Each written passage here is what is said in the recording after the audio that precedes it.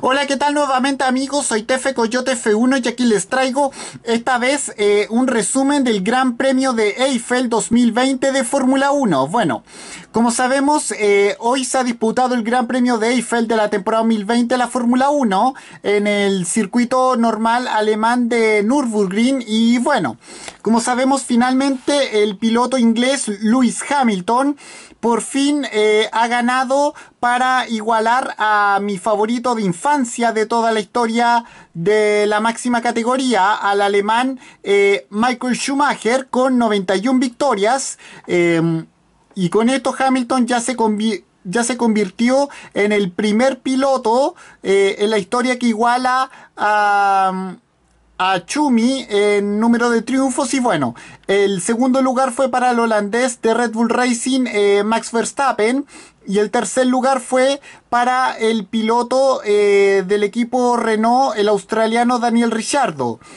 Y con esto Richardo obtiene su eh, primer podio después de, eh, después de dos años. El último fue en Mónaco en el año 2018 con Red Bull. Y en cuanto a Renault, bueno, eh, es, la primera vez que Renault sube a... vuelve a tener presencia en el podio desde el Gran Premio de Malasia del año 2011, hace ya casi 10 años. Eh, cuando en ese momento eh, fue de, la mano del alemán Nick Heifel.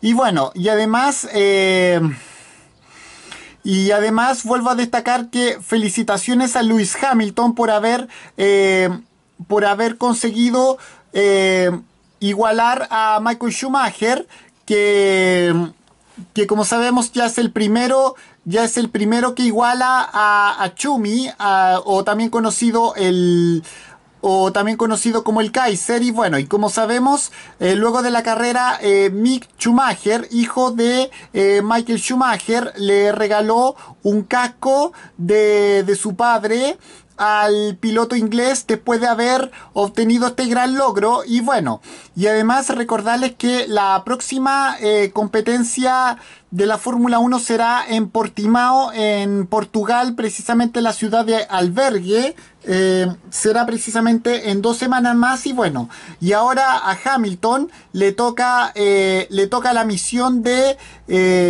romper el famoso y complicado récord de 91 victorias de, de Chumi y, y ya se está encaminando a igualarlo en número de eh, campeonatos mundiales. Así que eh, le deseo suerte a Hamilton para esta, esta próxima carrera en Portimao. Y bueno, ahora con esto me despido. Adiós, que fuera. Chao.